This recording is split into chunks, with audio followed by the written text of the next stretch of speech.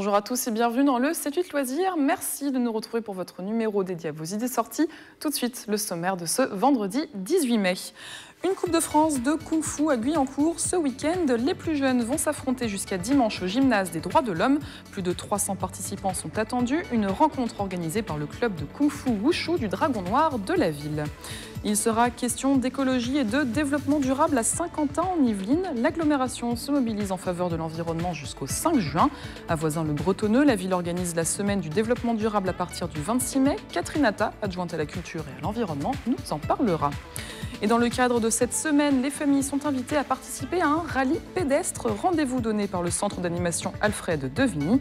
La thématique sur la piste d'Alfred, ce sera notre rendez-vous junior avec Mélanie Poquet. Ce samedi 19 mai, les musées se la jouent nocturne pour la nuit européenne des musées. Dans le département, de nombreux établissements restent ouverts toute la nuit et proposent des, animations spéciales. C'est le cas du musée de la ville à Saint-Quentin en Yvelines. Les visiteurs ont rendez-vous à 19h30 pour un show particulier. Armel Aubrier, en charge de la culture à Saint-Quentin en Yvelines, nous a donné plus de détails sur le plateau du 7-8 Culture cette semaine. Déclic Théâtre fait son show euh, télé. Donc, euh, Déclic Théâtre, c'est de l'improvisation à partir des thèmes qui seront fixés par euh, le public. Il y aura donc deux séances, une à 20h30, une à 21h30. Je trouve ça très intéressant de voir en fait à quelle réflexion justement ils peuvent nous, nous amener avec leur humour en particulier, euh, sur euh, justement, par exemple, l'évolution de la télévision, qu'est-ce que l'on fait de la télévision dans notre vie, quel regard et les, différentes facettes de l'utilisation de la télévision? Un voyage onirique à Guyancourt, une exposition vous plonge dans les abysses du sommeil. Le rêve est au cœur d'une installation conçue à partir des récits des participants, des témoignages de rêves ou de cauchemars mis en scène par Yann Allégret. Elle est à découvrir jusqu'au 30 mai à la salle d'exposition de la ville. Guyancourt toujours, mais côté sport, cette fois, ce week-end, le club de Kung Fu Wushu du Dragon Noir organise une Coupe de France jeune au gymnase des droits de l'homme. Une première qui devrait réunir plus de 300 participants, catégorie poussin, pupille et benjamin. Si beaucoup d'entre nous ont déjà vu des films de Bruce Lee ou de Jackie Chan, tout le monde ne connaît pas réellement cette discipline. Nous sommes allés la découvrir. Ici, la 1, et j'attrape. Rapidité et précision, deux qualités indispensables pour le kung-fu. Cet art martial chinois, considéré comme l'un des premiers arts martiaux, demande une coordination parfaite. 1, 2, 3. Il y a des techniques de main, donc ça comporte euh, les poings, les paumes, les doigts, les coudes, les épaules, jusqu'à la tête. D'accord Après, il y a les techniques de jambes, donc c'est tous les coups de pied, les balayages, les coups de genoux, les coups de hanche, ça peut être euh, des arrêts de circulation sanguine, donc soit en étranglement ou alors aussi sur, des, euh, sur un bras par exemple, on presse l'artère. Derrière l'artère là, il y a un point qui est intéressant. Révélé au grand public et rendu populaire par les films de Bruce Lee, le kung-fu fait travailler la souplesse, l'agilité et la tonicité. Mais plusieurs pratiques existent, une diversité qui plaît aux adhérents. On peut pratiquer toute sa vie, de 7 ans jusqu'à 90 ans. On peut passer par toute forme de pratique, aussi bien douce que plus, plus brutale, compétitive ou non compétitive. On a beaucoup d'armes également, donc des armes traditionnelles. On a à peu près 150. Malgré une image parfois violente, le kung-fu reste surtout impressionnant. Un sport accessible au plus grand nombre. Les plus jeunes s'affronteront lors d'une Coupe de France organisée par le club les 19 et 20 mai prochains.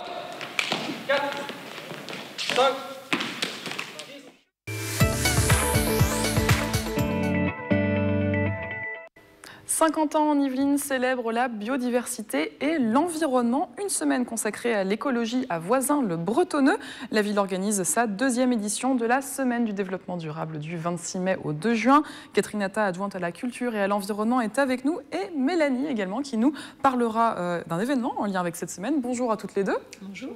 Alors on va commencer par parler de la semaine plus euh, généralement. Donc euh, pour la deuxième année, la ville se mobilise en, faveur de l'environnement. De nombreuses animations sont prévues. Ça commence le samedi 26 mai avec un village du développement durable. Tout à fait. Alors qu'est-ce qu'on pourrait y trouver? Énormément de choses. Donc, tout d'abord le lieu, puisque ça se passer dans, au parc de la Croix du Bois, donc euh, à la sortie de Voisin en allant vers euh, Manille et Hameau, donc un très joli parc à l'italienne, dans lequel nous concentrons donc plusieurs stands. Euh, il va y avoir du troc de plantes en liaison avec le jardin Passion Partage. Il va y avoir un atelier composteur en lien avec les services de l'agglomération, pour lesquels les, en fait, les Vicinois pourront faire une préinscription pour euh, ensuite recevoir, pouvoir recevoir un, composteur. Il va y avoir un stand de la Ligue de protection des oiseaux, un stand aussi euh, des conseils de quartier, euh, une présentation de la flotte de vélos de la vélostation de Saint-Quentin qui, mhm. qui vient d'ouvrir. Euh, on également aussi les ruches parce que y a oui, aussi des on pourra voir aussi les, ruches qui ont été installées depuis depuis trois ans. Ça, c'est un événement permanent, hein, je dirais.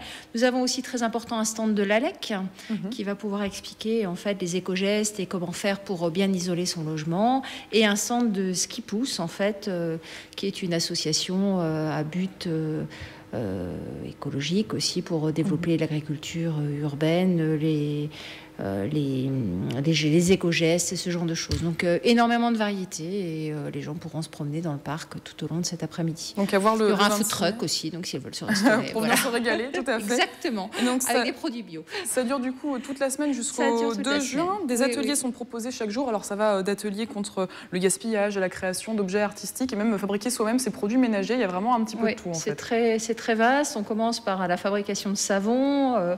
Ensuite, il y a des ateliers cuisine, comme vous le disiez, pour euh, comment bien réutiliser euh, ben, les restes, euh, pas faire de gaspillage, créer des objets artistiques. Et on avait pu voir lors du dernier salon de la sculpture une artiste plasticienne qui avait, en fait, Isabelle Schulz de Versailles, qui avait créé des sculptures à base de, vieilles bouteilles en mhm. plastique, en fait. Donc, ces œuvres, il y aura un film sur ces œuvres qui sera exposé toute la semaine en, mairie. très important aussi, il y aura des, donc les produits ménagers, puisque en fait, on n'est pas obligé d'acheter euh, la plupart des choses en grande surface. On peut les faire soi-même. On peut les faire soi-même à base de produits basiques. Euh, je pense au vinaigre blanc, au bicarbonate de soude. En fait, euh, ça fait merveille. Pas besoin de. Tout à fait, ça enlève le calcaire. On voilà, exactement. exactement. Et alors, on va s'intéresser également aux conférences, mhm. parce qu'il y en a également sur d'autres thèmes, hein, sur la, thématique de l'eau, de la lumière horticole et de l'agriculture périurbaine. Exactement. Donc, sur l'eau, nous travaillons avec le SIDOMP, hein, sur euh, sur deux axes, à savoir déjà comment on peut économiser l'eau au, quotidien.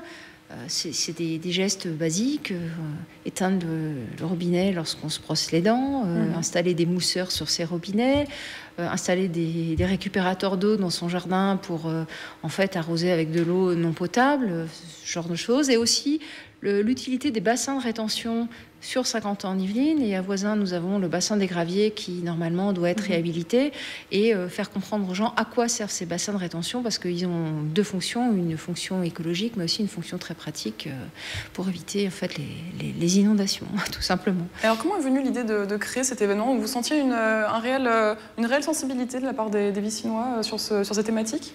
Il y a une sensibilité certaine de, des Vicinois ou de certains Vicinois sur ce sujet, mais je pense qu'on on surfe aussi un peu sur l'air du temps. Je pense qu'on mhm. que on prend tous plus ou moins, alors avec euh, plus ou moins de on prend plus ou moins conscience. Euh, voilà, de, de, la nécessité de, de, protéger la planète et puis d'agir euh, au quotidien pour préserver à la fois la biodiversité et aussi ben, la terre qu'on va léguer à nos enfants. Donc, mhm.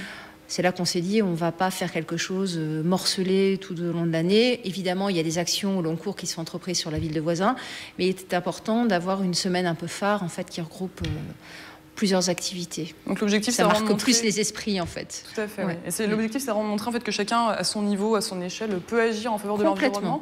Et c'est une thématique du coup qui s'adresse également aux plus jeunes? Tout à fait. Le mercredi après-midi, nous avons euh, des ateliers jardinage qui sont proposés au Jardin Jeune Fleuret, donc en centre-ville, avec les jardiniers de la ville, qui, euh, en fait, euh, on, a un potager partagé qui a été créé il y a quelques années où les jardiniers et les enfants en fait plantent. et donc on va remettre en culture une partie du potager, c'est-à-dire replanter les tomates, tout ce qui doit être planté annuellement. on va faire aussi des plantations d'agréments et il y aura des, ateliers aussi euh, en lien avec l'association Ville Verte. Et on a également, euh, on va parler aussi d'un rendez-vous à faire en famille qui s'inscrit dans le cadre de cette, de cette semaine du développement durable. Donc là, c'est Mélanie qui va nous en parler. Euh, donc il va falloir s'équiper de basket et faire marcher ses neurones. Et oui, le centre Alfred de Vigny vous emmène en balade au cœur de la ville de Voisin-Bretonneux, 3 heures et 6 km pour un rallye pédestre sur la piste d'Alfred. Une grande promenade pour partir à la découverte de tous les petits chemins et les originalités de la ville. Des épreuves et des questionnaires vont rythmer cette balade.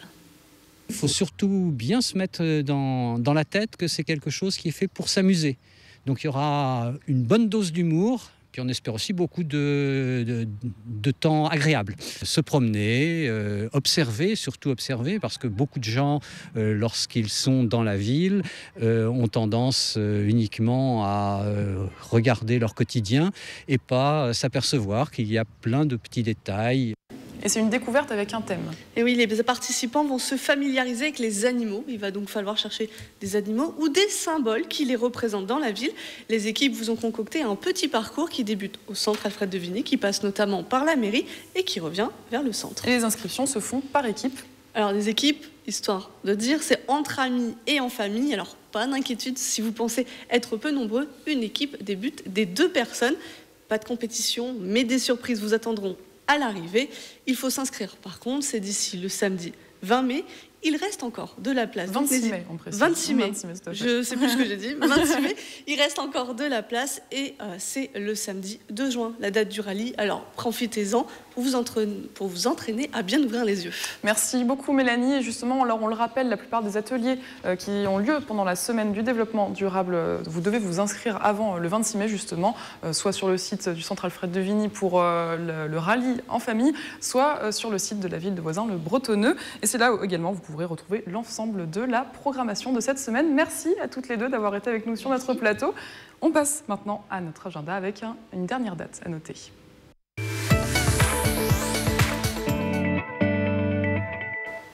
C'est devenu un moment privilégié pour faire connaissance avec ses voisins. La fête des voisins revient pour une 15e édition dans toute la France. Renseignez-vous auprès des habitants de votre quartier pour organiser une rencontre le 25 mai. La Maison des voisins à Paris vous accueille jusqu'à cette date pour vous remettre un kit d'organisateur. Mais cette loisir est maintenant terminé. Merci de nous avoir suivis. On se retrouve vendredi prochain pour un nouveau numéro. Et d'ici là, je vous souhaite un excellent week-end.